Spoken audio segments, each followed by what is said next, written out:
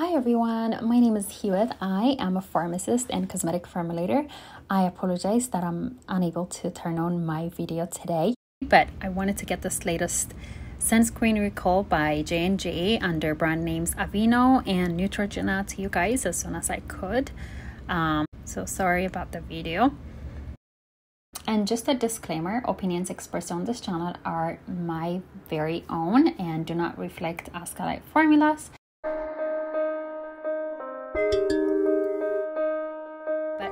Um, as a background, what happened was back in May of this year, Valisure, which is a chemical testing company, did a random post-market test of sunscreen products.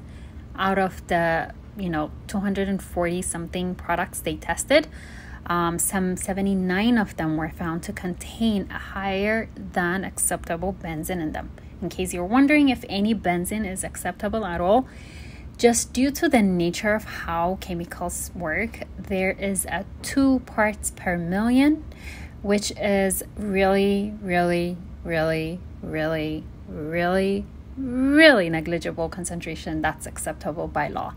So um, this applies not just for benzene, but um, any other trace elements. Some might have a different parts per million number, but that's uh, typically how it's done. You get the picture. So, as you know, benzene is unsafe and harmful to our health. Um, it causes cancer, mutation, lipid peroxidation, and many other things that are not good for our blood, organs, and nerves.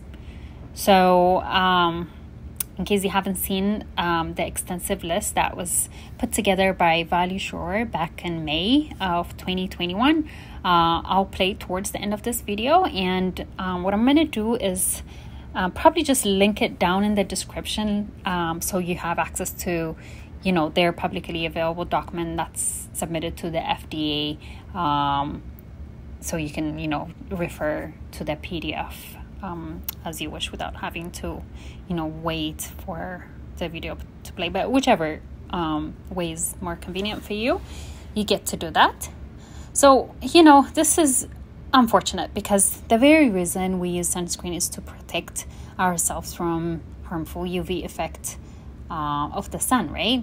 It's really unfortunate that we're learning some of these sunscreens contain benzene, you know, uh, which is a proven carcinogen by the CDC, Department of Health and Human Services, the WHO, and other institutions um, concerned with, you know, our health.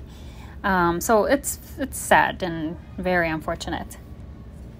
The concentration of benzene found in these sunscreen is above the acceptable 2 parts per million. And you can also see that the standard deviation and percentage to give you an idea of how much the numbers are off. That's why it's a big deal and the reason why companies are being forced or voluntarily withdrawing these batches from the market.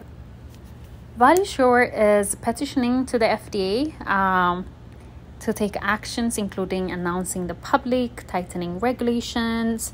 Um, I mean, there is already a regulation around cosmetics, and for sunscreen, it's even, you know, strict. Um, but you know, uh, it, it appears that we need more more regulation, uh, especially for sunscreen, which um, is actually treated like a drug because it contains an active ingredient um, on its label.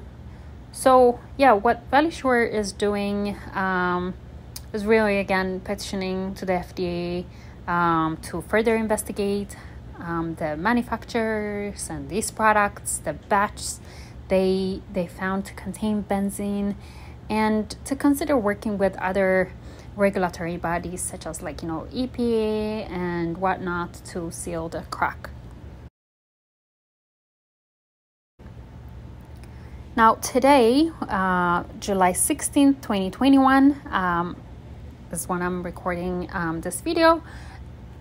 I have um, read that J&J, which is the parent company, again, like I said, um, for Aveeno and Neutrogena, um, voluntarily recalled, uh, you know, the items you're looking at on the on the screen.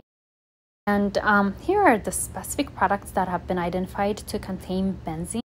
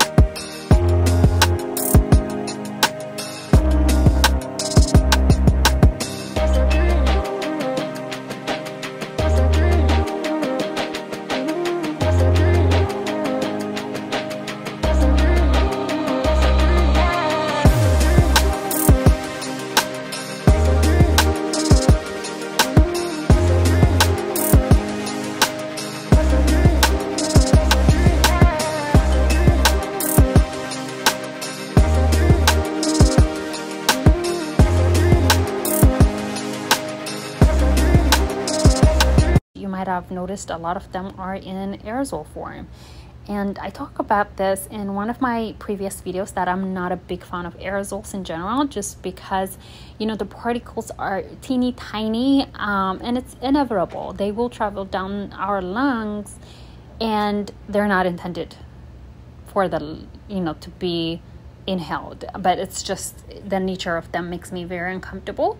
Um, you're free to disagree with me but i really think uh, if you can avoid it including hairspray at least like you know spray it completely away from your face or cover your face when you're doing so um, just because you know we're talking about benzene and i don't want to go uh, and change subjects but there are a lot more chemicals you just don't want to inhale so if you can avoid it avoid aerosols in general.